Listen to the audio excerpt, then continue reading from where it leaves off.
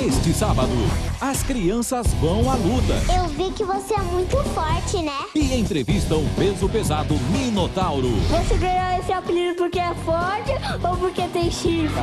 Ai, seu danado! Quem conquista o sucesso está na Boca do Povo. Você pra mim não vale nada. E os candidatos mostram que quem sabe canta. Programa Raul Gil.